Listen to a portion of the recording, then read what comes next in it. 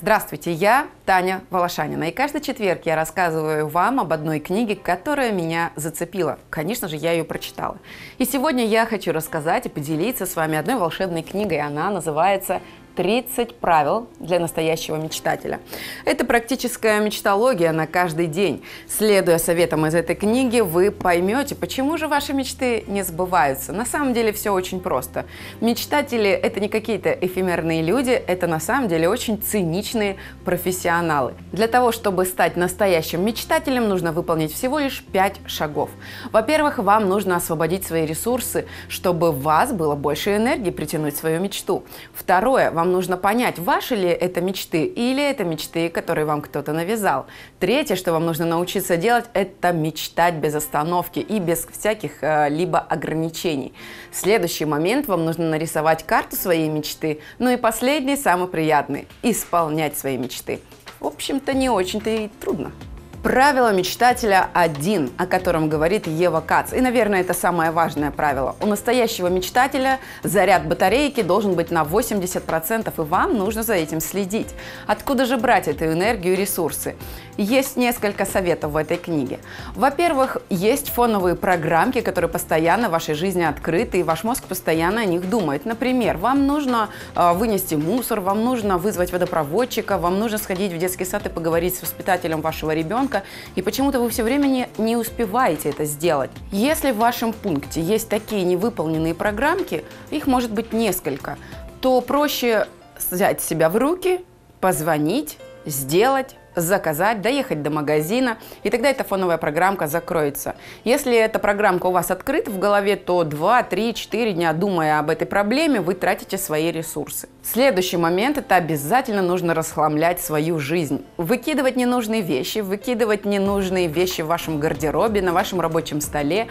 Просто какие-то плюшкинские запасы тоже нужно разгребать, и тем самым вы освобождаете место для того, чтобы в вашу жизнь пришло что-то новое. Ну и еще очень важный момент, который отбирает у вас энергию. Если есть люди, с которыми вы не поговорили, с которыми вы не очень хорошо закончили разговор, или которым вы хотели что-то сказать, но не сказали, вот это как раз то, что отнимает вашу энергию. Идите, разговаривайте, договорите то, что хотели сказать. Еще один маленький момент, который может отнимать ваш ресурс, это ваши долги или те долги, которые должны вам. Для этого вам нужно просто составить список, кому должны вы и кто должен вам. Просто позвонить и предложить людям отдать вам долг. На самом деле иногда это работает. Ну, а свои долги, конечно, постараться отдать как можно скорее. Следующее правило, о котором говорит Ева Кац, о том, что настоящий мечтатель получает удовольствие прямо сейчас – я хочу вам рассказать одну притчу о мужчине, который съел целое ведро гнилых слив.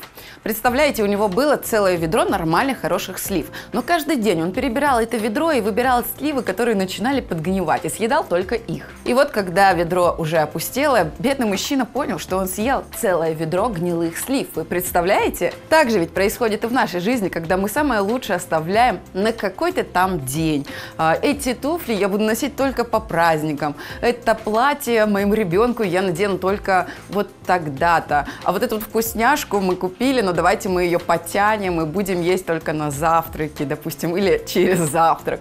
Я думаю, что каждый из вас подумал о чем-то, что он делает оставляя на потом самое лучшее. Так вот, настоящий мечтатель, он не оставляет на потом, он наслаждается тем, что у него есть здесь и сейчас, и не живет завтрашним днем. Как же пополнять свои ресурсы? Есть один маленький лайфхак. Вам нужно просто взять и составить список тех вещей, которые вас вдохновляют, которые вас наполняют. Это могут быть как платные, так и бесплатные моменты.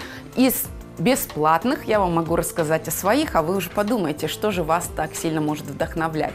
Например, я могу посидеть в кафе, пить кофе, смотреть в окно, наблюдать за людьми, и мне от этого приятно становится на душе.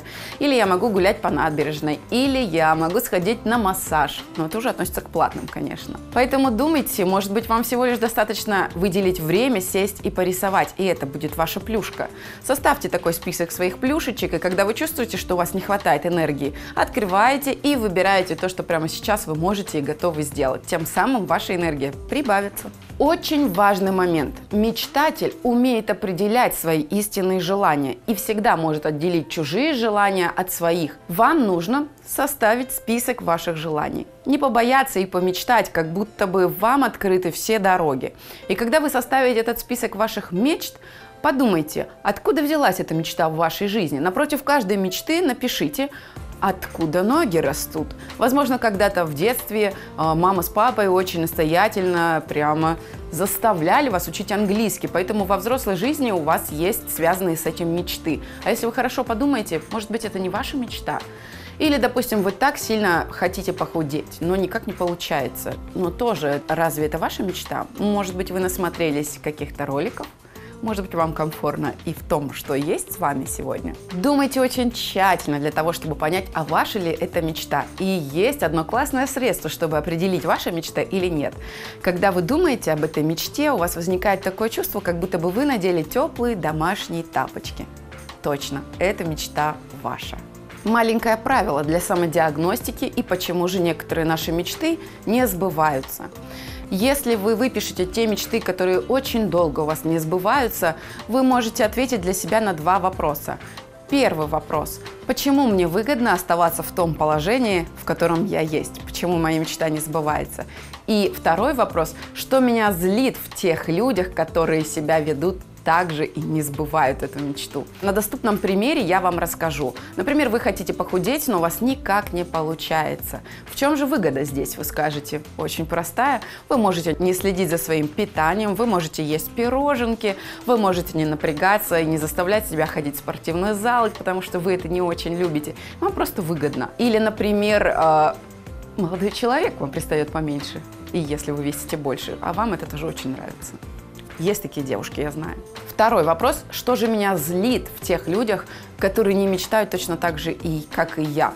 Например, люди, которые не худеют, которые весят больше там 150 килограмм, и при этом ни в чем себе не отказывают. Что в них может меня злить? Ну, во-первых, они слабовольные, бесхарактерные, им все равно на все, они беспринципные какие-то. Вот, собственно говоря, отвечая на эти вопросы, вы можете понять, почему ваша мечта не двигается вперед. И самое крутое правило. Мечтатели живут так, как будто бы их мечта уже исполнилась.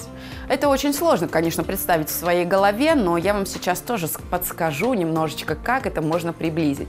Вот представьте вашу исполненную мечту и представьте себя в этой исполненной мечте. Какой вы? Как вы одеваетесь, как вы общаетесь с людьми, какой круг общения, какая обстановка, какая квартира, как вы разговариваете с людьми. В общем, чем больше деталей вас в будущем, тем ярче картинка. И когда у вас есть эта картинка, вы просто берете и начинаете быть таким человеком уже сейчас. Уже сейчас вы можете начать менять ваш круг общения. Уже сейчас вы можете начать общаться по-другому с своими родными, близкими людьми. Уже сейчас очень многие вещи из той будущей картинки вы можете начать потихоньку перетягивать в эту жизнь. И тогда ваша мечта обязательно случится. Несмотря на то, что такое легкое название у книжки, здесь так много упражнений и всяких практических заданий, выполняя их, я уверена, у вашей мечты точно начнут случаться. Я уверена, что эта книга поможет осуществлять ваши мечты. Ну а я хочу вам пожелать, мечтайте, мечтайте смело, ни на что не смотря, как будто бы все в ваших руках. А это действительно так.